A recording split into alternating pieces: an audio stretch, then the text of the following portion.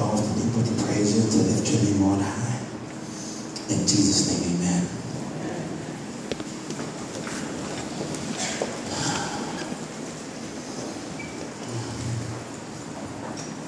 Psalms 145 8, the second uh, portion of that scripture reads, and full of compassion.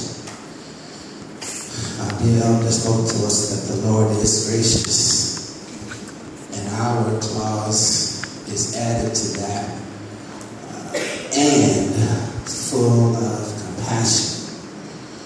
The word and gives us to understand that there's an addition, uh, in addition to not taking away from, but with what was already said, full of compassion. I'm reminded of a commercial that I saw concerning a car, and they were comparing things that uh, go with and or or.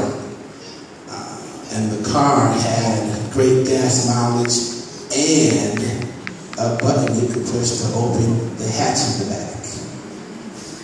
And they said, imagine we were going to a bread, a bed breakfast, but the choice was bed or breakfast. What would you choose? Some chose the breakfast and not the bed. Others chose the other way.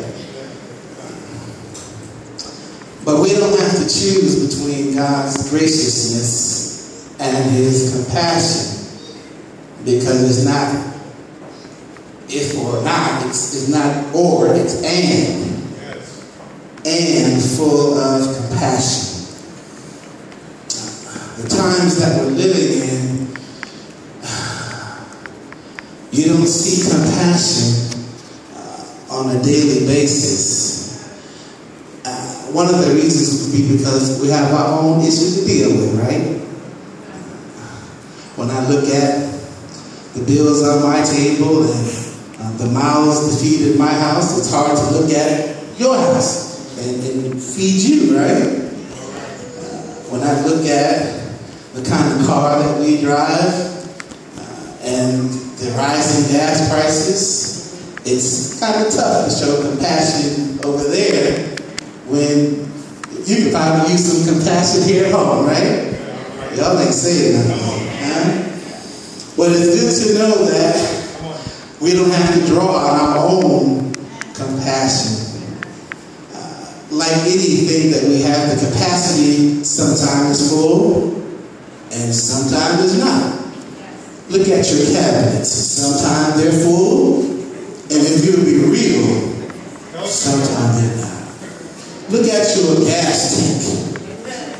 Rarely is it full. Sometimes, but rarely is it full. hmm Look at your wallet. Huh? Some of you even stop hearing it because there's nothing.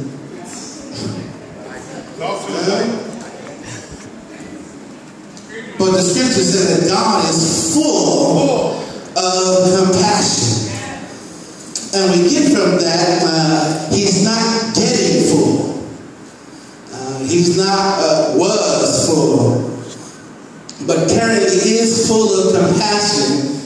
And we see so many examples of that in the scripture. And I did understand that God is omnipresent, which means that so is his compassion. Everything there is about God, uh, the same characteristic applies. So he himself is omnipresent, so is his grace. If he himself is omnipresent, so is his mercy. And so is his compassion. In our human state are limited in everything. That's why some of us have hair. That's why some of us have and then have, have not because of our human limitation and incapacity. But we know that there is no failure in God, so there is no empty in God. John told us that God so loved the world. That doesn't give us to know that it's a little bit of love, uh, almost on E, but it's everlasting and overflowing love to the extent that when He would give His only begotten Son, and all that you have to do is not be full of love. All you have to do is believe. And if you would believe on him, you could have everlasting life. Uh, we know that when we see something repetitiously, something so many times, it is of significance. Uh, the pastor Warren uh, Lamb says, um, anytime something is mentioned more than once, it has special significance. Three times means sit up and pay close attention. Four times you had better and graft this into your soul.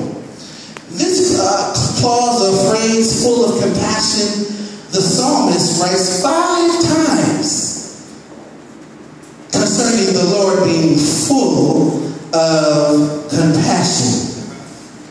Uh, when you see that five times, it gives you to know that in Psalm 119. He said, um, Thy word have I hid in my heart that I might not sin against you. And uh, I want you to remember this word compassion because you don't hear it uh, coming across the sacred desk often. We hear of the love of God.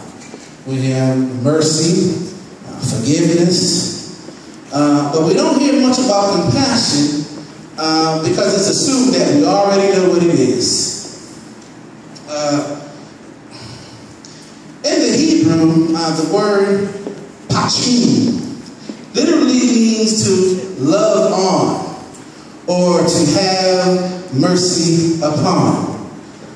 The online dictionary says a feeling of deep sympathy and sorrow for another is stricken by misfortune, accompanied by a strong desire to alleviate the suffering. And that's the kind of God that we serve. He doesn't just hear our prayer and do nothing about it. So many times we say, uh, he may not come when we want him, but he comes right on time. Even if it takes him 500 years, I want you to consider the children of Israel. They were enslaved 500 years.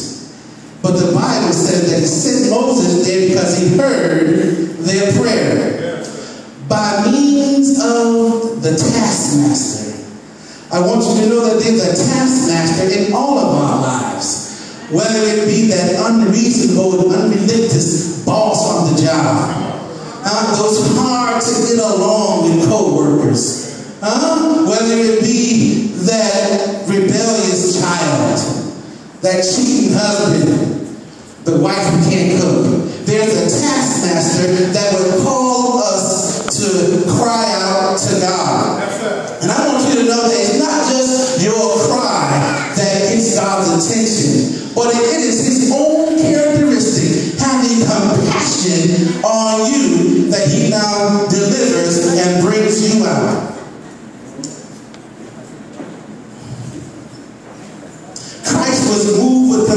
compassion when he healed the leper. He was moved with compassion when he healed blind Bartimaeus. He was moved with compassion when he fed the 5,000 and he fed the 4,000. Being full of compassion causes you to not just know the situation, but now do something about it. That story of the 5,000, the disciples was to send them people away. And Jesus said, we have no need to send them away. Let's feed them. Yes, and so having compassion causes us to do something about what it is. And I want to wrap it up with this because uh, the compassion of the Lord is his very keeping power. Uh, it is his compassion that allows him uh, to keep you. Jeremiah said, It is of the Lord's mercies that we are not consumed, because his compassion fail not. Pray for me.